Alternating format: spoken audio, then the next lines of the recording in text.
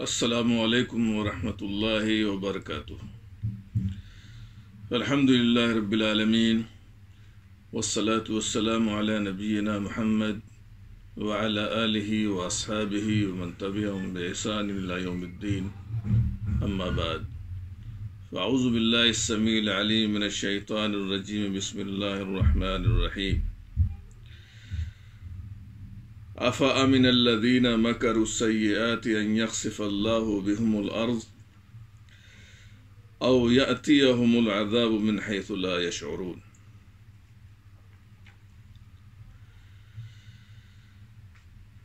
नाज़रीन किराम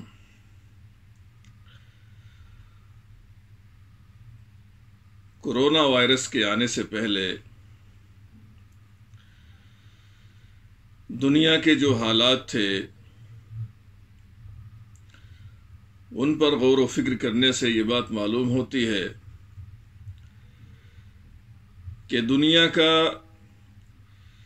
एक हिस्सा तो वो था जो इंतहाई ऐश व आराम के साथ ज़िंदगी गुजार रहा था।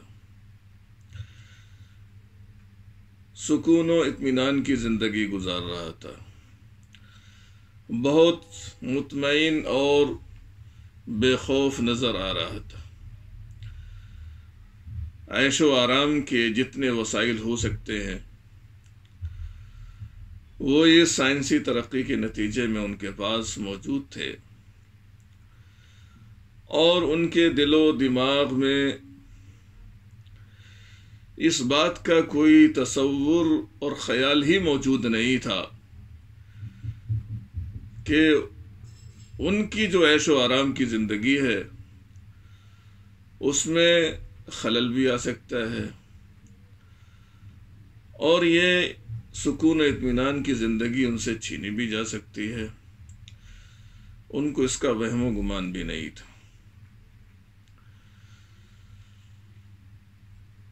और दूसरी तरफ़, दुनिया का वो हिस्सा था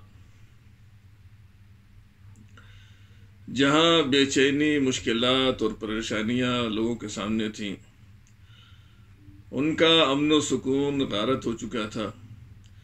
कत्ल खूनेजी उनका मुकद्दर बन चुकी थी। माशी बदहाली और माशी बहरान के वो लोग शिकार थे। और उनके ये मसाइल, उनकी ये परेशानियाँ दुनिया के उन लोगों की वजह से थी, जो दिन रात इन लोगों के खिलाफ साजिशें कर, साजिशें करते थे। और दिन रात ये प्लानिंग और मनसूबाबंदी करते थे कि किस तरीके से दो फ़कीर ममालिक के दरमियान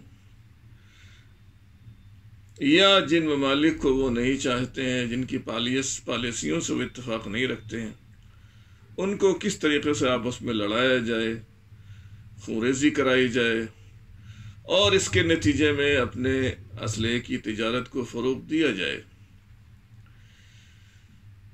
तो इस दुनिया के खुशहाल तबके ने दुनिया के बकिया और ख़त्े को अपनी गलत पॉलिसियों के नतीजे में, गलत सियासत के नतीजे में और साजिशों के नतीजे में कत्लगाह बना रखा था।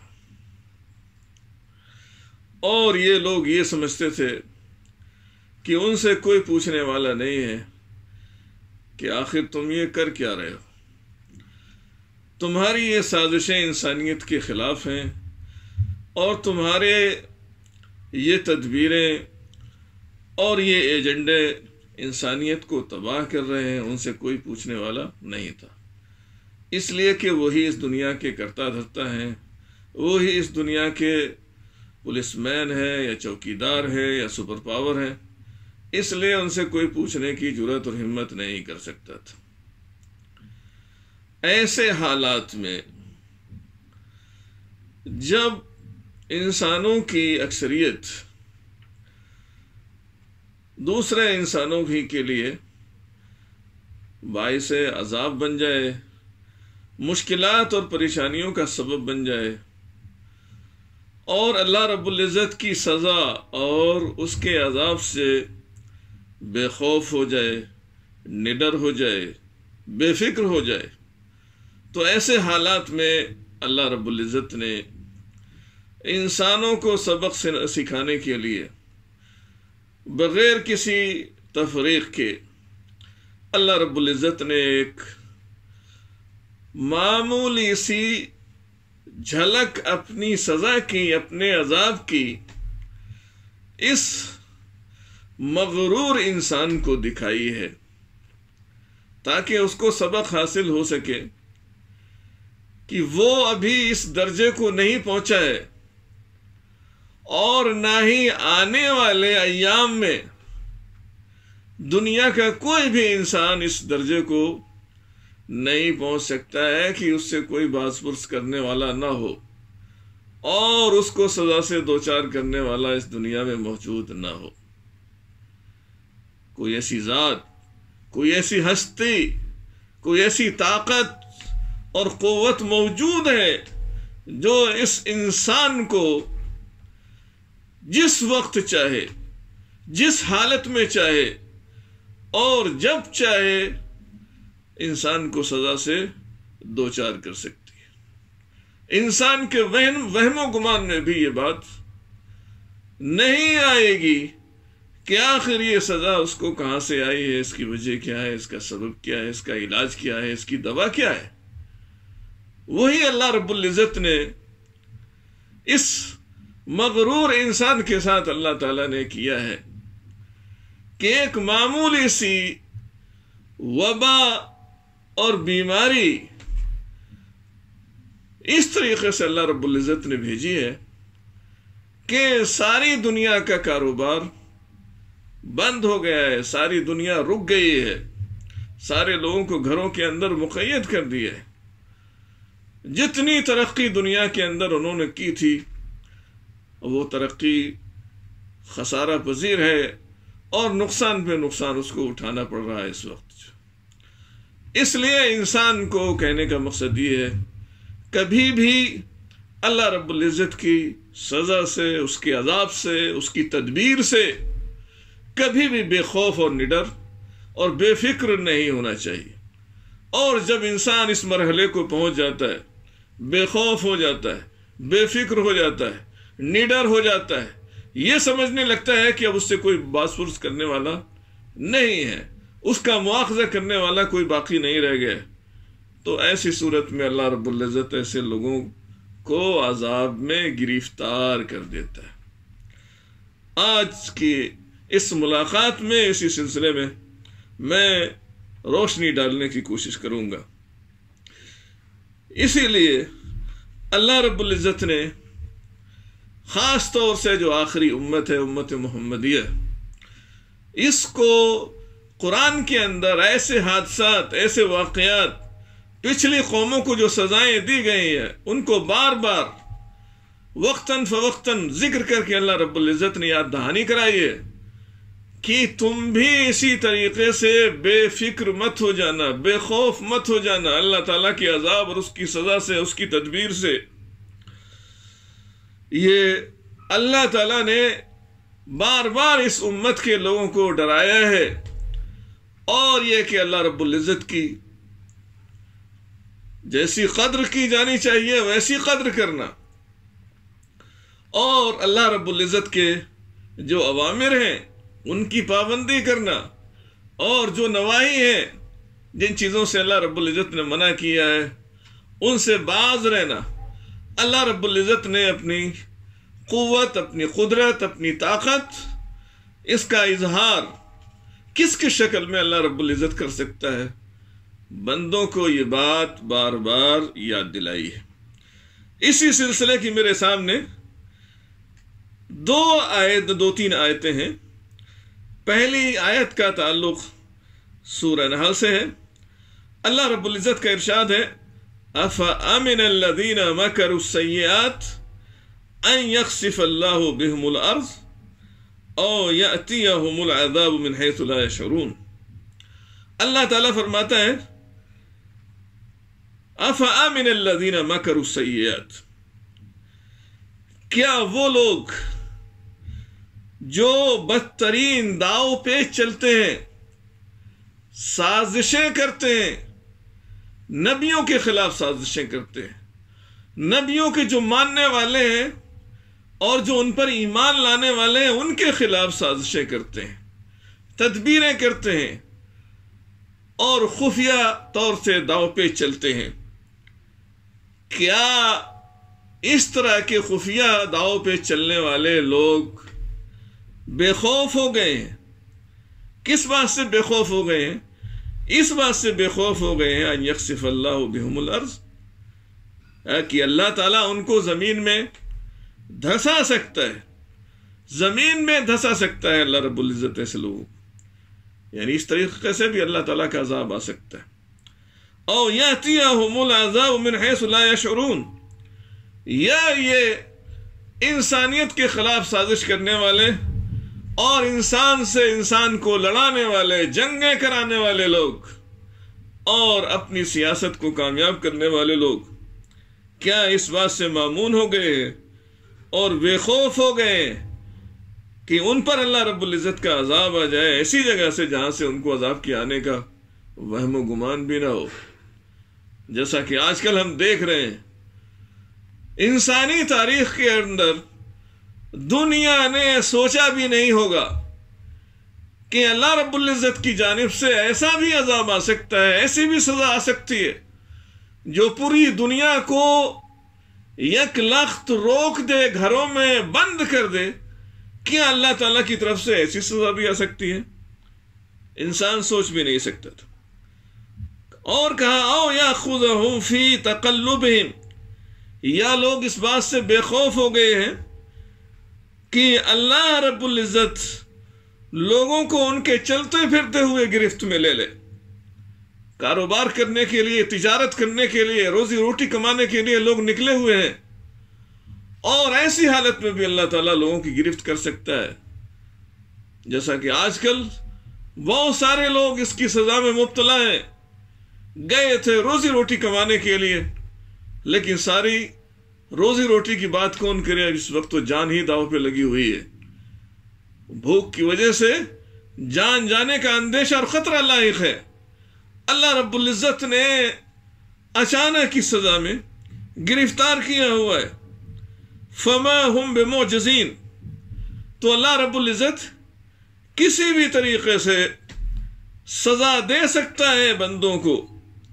अगर बंदे सजा के असबाब से बाज नहीं आएँगे, जिन वजूहत से अल्लाह ताला का अजाब आता है उन वजूहत को दूर नहीं करेंगे तो ऐसी सूरत में अल्लाह ताला कभी भी अजाब में गिरफ़्तार कर सकता है। फमा हम बेमोजीन और इंसान की हैसियत क्या है?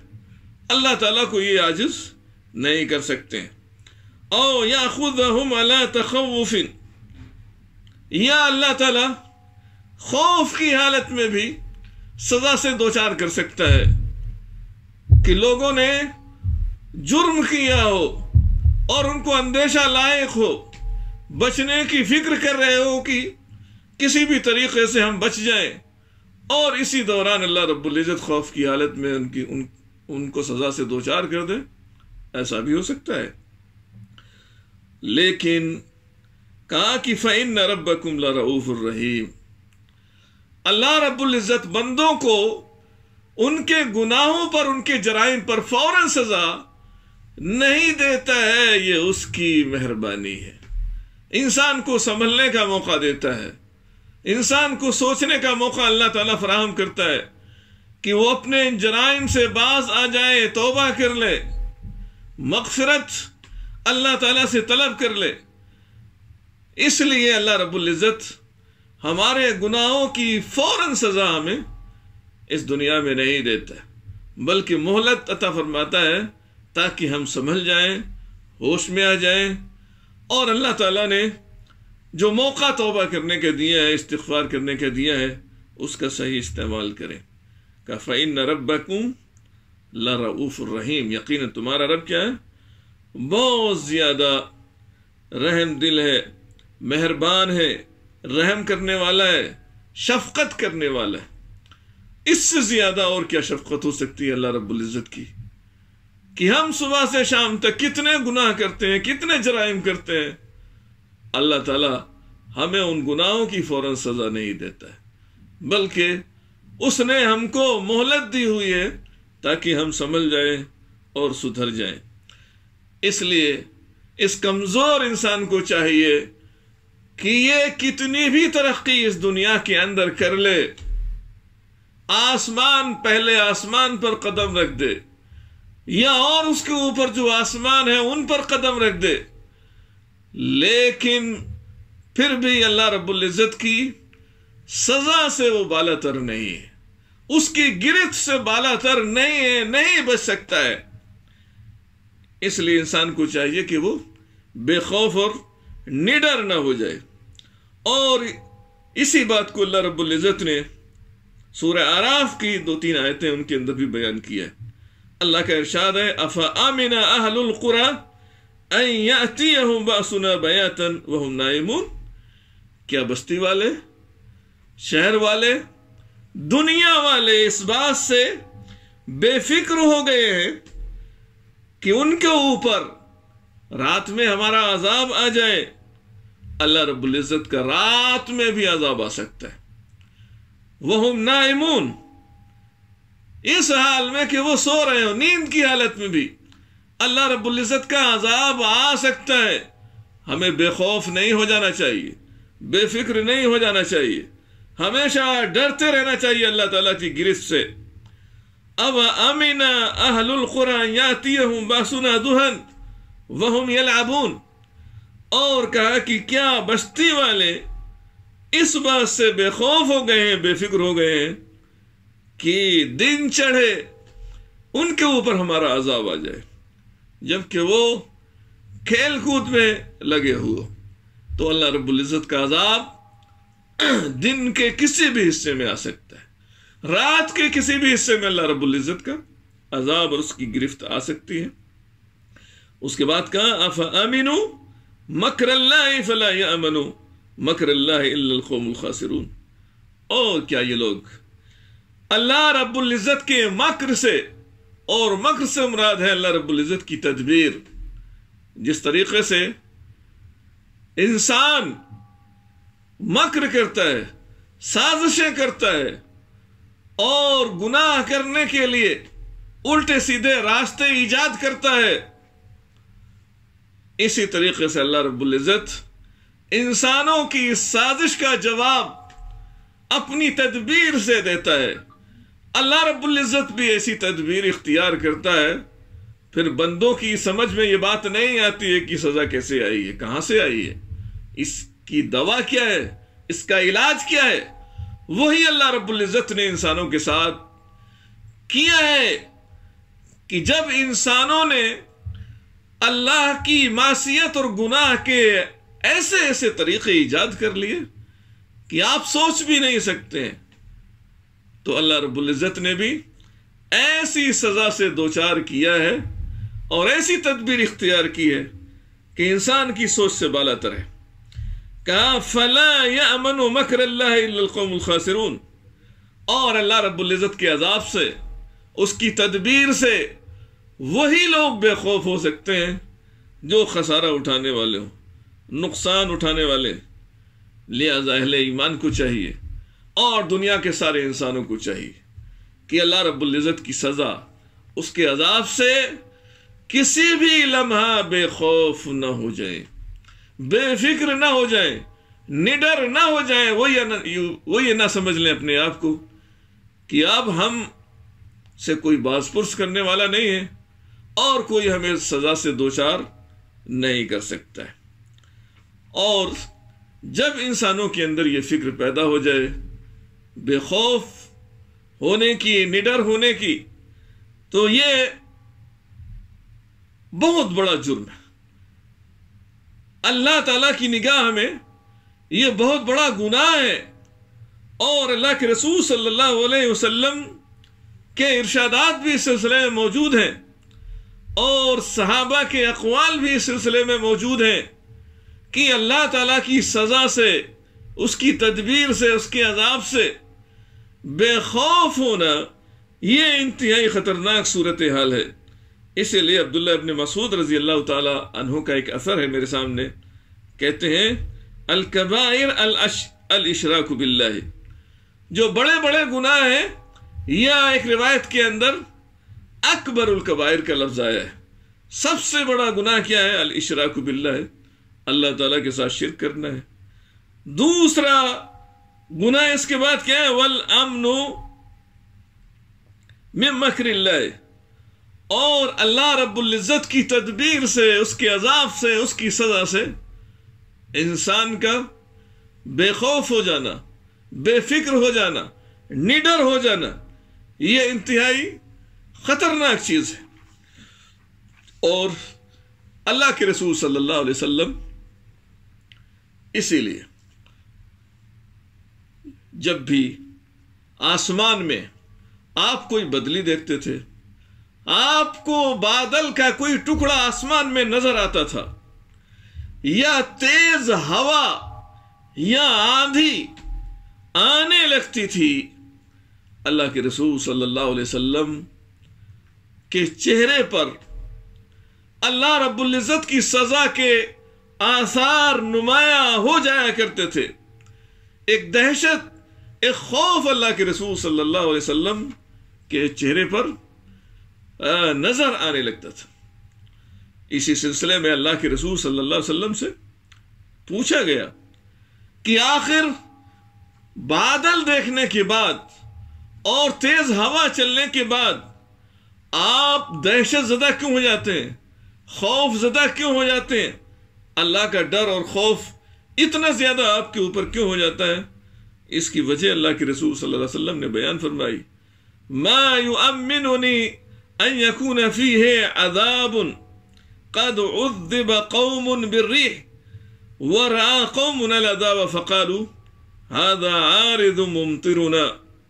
अल्लाह के रसूल सल्लल्लाहु अलैहि वसल्लम ने वजह बयान फरमाई कहा कि मुझे इस बात से इत्मीनान नहीं होता है अन यकून फीहे अदाबुन कहीं ऐसा ना हो कि इस आंधी के अंदर, तूफ़ान के अंदर और इस बादल के टुकड़े के अंदर अल्लाह ताला की जानब से कोई अजाब ना ना आ रहा अजाब नाजिल ना हो जाए। तो अल्लाह के रसूल सल्लल्लाहु अलैहि वसल्लम इतना डरते थे, इतना खौफ करते थे। और उसके बाद आपने फरमाया, कद उद्दिबा कौम बिर्री अल्लाह ताला ने कुरान में ज़िक्र फरमाया कि एक कौम को हवा के ज़रिए से, आंधी, तूफ़ान के ज़रिए से भी सजा दी जा चुकी है। वह रहा कौम अजाब और एक कौम ने अजाब को देखा बादल की शक्ल में। और उन्होंने यह समझ लिया और समझकर कहा कि हाद आरिजुलमुमतरुना ये बादल आ रहा है और इससे हमारे ऊपर बारिश होगी, हमारी परेशानी खत्म हो जाएगी। हालाँकि उसके अंदर अल्लाह ताला का आज़ाब नाजिल होने वाला था। इसलिए इंसान को चाहिए कि वो अल्लाह रब्बुल इज़्ज़त के अजाब से, उसकी सज़ा से और उसकी तदबीर से निडर और बेखौफ न हो जाए। और निडर और बेखौफ होने की अलामत क्या है? पहचान क्या है?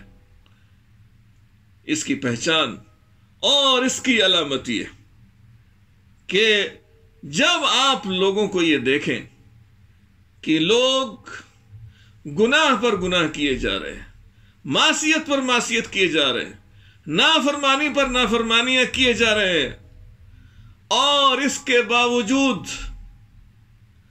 अल्लाह रब्बुल इज़्ज़त ऐसे लोगों को नेमतों से नवाज़ रहा है। उनको अल्लाह रब्बुल इज़्ज़त माल और दौलत और सेहत और तंदुरुस्ती और दुनिया की बेशुमार तरक्तियों से नवाज़ रहा है।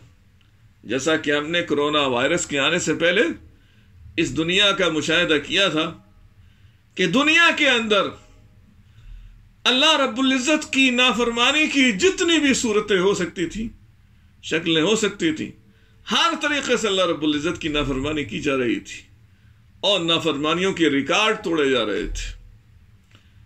लेकिन ये इस बात की अलामत नहीं कि अल्लाह रब्बुल इज़्ज़त ऐसे लोगों से खुश है। अल्लाह रब्बुल इज़्ज़त ऐसे लोगों से नाराज़ नहीं है, ये इस बात की अलामत नहीं है। जब आप किसी फर्द को और जब आप किसी कौम को देखें कि वो मासीत पर मासीत किए जा रही है, नाफरमानियों पर नाफरमानियाँ किए जा रही है, इसके बावजूद भी अल्लाह रब्बुल इज़्ज़त उनको हर चीज़ से नवाज़ रहा है। तरक्की पर तरक्की कर रहे हैं ऐसे लोग। ये नमज, ये समझना नहीं चाहिए कि ऐसे लोगों से अल्लाह रब्बुल इज़्ज़त बहुत खुश है, बल्कि अल्लाह रब्बुल इज़्ज़त ऐसे लोगों को आने वाले वक्त में सजा देने वाला है। ये अल्टीमेटम हमको याद रखना चाहिए। इसी सिलसिले में उकबा इबन आमिर रज़ी अल्लाह तु बयान करते हैं।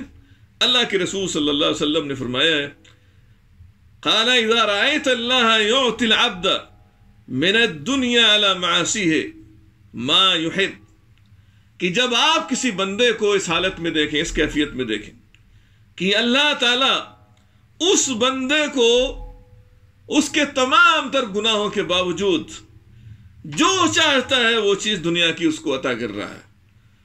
दुनिया की सारी नेमतें उसके पास मौजूद हैं। मिल रही हैं, तरक्की पर तरक्की कर रहा है।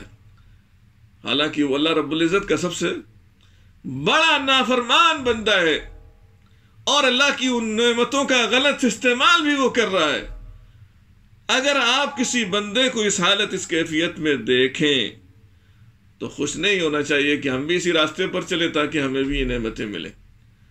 बल्कि अल्लाह के रसूल ने फरमाया, फ़ैन नमा हुआ इस्तराज ये अल्लाह रब्बुल की तरफ़ से उसको ढील दी गई है, ताकि अल्लाह ताला इस नाफरमान को ऐसे मकाम पर जाकर गिरफ्त करे जहाँ से उसकी वापसी मुमकिन ना हो, और जहाँ से उसकी हलाकत, उसकी तबाही और बर्बादी यकीनी हो जाए। उस वक्त अल्लाह ताला उसकी गिरफ्त करना चाहता कहा, इसकी दलील क्या है? अल्लाह के रसूल ने उसकी दलील के तौर पर कुरान की आयत ज़िक्र फरमाई तुम तला रसूल वसल्लम। फिर अल्लाह के रसूल ने कुरान की आयत की तिलावत की। अल्लाह का इरशाद है, फलम्मा नसू मा दुखिरू बिही फताना अलैहिम अबवाब कुल्ल शै। हत्ता इदा फरिहु बिमा ऊतु अखदनाहुम बगततन फइदा हुम मुबलिसून। अल्लाह रब्बुल इज़्ज़त का इरशाद है। फलम्मा मा दुखिरू तो जिस चीज़ के ज़रिए से बंदों को नसीहत की गई थी वाज किया गया था उनको। याद दहानी कराई गई थी। जब वो वाजो नसीहत को भूल गए और उन्होंने उसकी परवाह नहीं की तो अल्लाह ताला ने उनकी इस नाफरमानी के नतीजे में क्या किया? उनको हलाक करना चाहता है। लेकिन कैसे हलाक करना चाहता है? पहले तो अल्लाह ताला ने उनको खूब फरावानी से, नेमतों से नवाजा। फतह न अलहम हमने ऐसे लोगों के ऊपर हर चीज़ के दरवाजे खोल दिए। हर तरह की नेमतों से उनको नवाज़ दिया। हत्ता इजा फरहू बिमा यहाँ तक कि जो चीज़ उनको दी गई थी, जो नेमतें उनको दी गई थी, उन पर जब वो इतराने लगे, गुरूर और घमंड जब उनको आ गया कि इसी नाफरमानी के नतीजे में उनको ये सारी तरक्कियाँ मिली हुई है, सारी उनकी तरक्की इसी नाफरमानी की मरहून मिन्नत है। लिहाजा जब उनको ये तस्वुर पैदा हुआ तो अल्लाह रब और उस पर इतराने लगे। अल्लाह ताला ने क्या किया? खदना हम वक्त तो अचानक हमने उनकी गिरफ्त की, फैज़ा मुबलसून। और एकाएक वो मायूस होकर रह गए। अपना बचाव भी नहीं कर सके। कोई दूसरा उनको बचाने के लिए तैयार नहीं हुआ। और बचा भी नहीं सकता था। अल्लाह रब्बुल इज़्ज़त ने इस तरीके से ऐसे लोगों की गिरफ्त फरमाई। लिहाजा अगर दुनिया दुनिया की अक्सरियत और दुनिया के इंसान अगर गलत रास्ते पर चल रहे हैं और आप देख रहे हैं कि तरक्की पर तरक्की उनकी होती जा रही है, और ज़मीन ही नहीं, बल्कि आसमानों पर कमंदे डाल रहे हैं, लेकिन याद रहे, ये उनकी तरक्की खत्म होने वाली है किसी न किसी दिन। ऐसे लोग अल्लाह ताला की गिरफ्त में आने वाले हैं। अल्लाह ताला ऐसे लोगों को सजा देकर रहेगा। तो जो लोग अल्लाह रब्ज़त के अजाब से, उसके खौफ से, उसकी तदबीरों से बेखौफ हो जाते हैं बेखौफ बेफिक्र हो जाते हैं, निडर हो जाते हैं, ऐसे लोग भी अल्लाह ताला की सज़ा के मुस्तक होते हैं। इसीलिए हसन बसरी रहमत कहते हैं अलमोमिन यामल बित्तात वह मुशफ़िन खाइफुन वजिलन एक मोमिन शख्स जो अल्लाह पर ईमान रखता है, वो अच्छे काम करता है और अच्छे काम करने के बाद भी वो डरता रहता है। उसके दिल में खौफ रहता है कि ये मेरी अच्छाइयाँ, नेकियाँ अल्लाह की कबूल होंगी कि नहीं होंगी। फिर भी ऐसा शख्स अल्लाह ताला से डरता रहता है। तो एक मोमिन के दिल में हमेशा अल्लाह रब्बुल इज़्ज़त का खौफ रहना चाहिए। वलफाजिर यामल बिलमासी व आमिन और फासिक फाजिर इंसान। काफिर इंसान गुनाह पर गुनाह किए जाता है, लेकिन फिर भी वो मुतमिन नज़र आता है, बेखौफ नज़र आता है, निडर नज़र आता है। समझता है कि कोई उसकी गिरफ्त करने वाला नहीं, कोई उसका मुआवजा करने वाला नहीं। लेकिन उसको मालूम होना चाहिए कि हाँ किसी ना किसी दिन कोई ज़ात है, कोई हस्ती है, जो या तो दुनिया में इन सजाओं इन गुनाहों पर और इन जराइम पर दुनिया में सज़ा दे सकती है। और अगर दुनिया में इंसान बच गया तो आखिरत में उसकी सज़ा यकीनी है। अल्लाह रब्ज़त से दुआ है। कि अल्लाह ताला अपनी रहमत के साय में हमें जगाता फरमाए और हमारे दिलों के अंदर जो खौफ नहीं रहा है अल्लाह रब्बुल इज़्ज़त का, जिसकी वजह से हम गुनाह पर गुनाह किए जाते हैं या किए जा रहे हैं, अल्लाह ताला हमारे दिलों के अंदर ऐसा खौफ पैदा फरमाए जिससे हम उसकी मासीत से बचते रहें। इन ज़िंदगी रही। तो फिर किसी मौजू से मुतल आपसे गुफ्तु होगी। वाखरुदावान अलहमदिल्ला रबालमी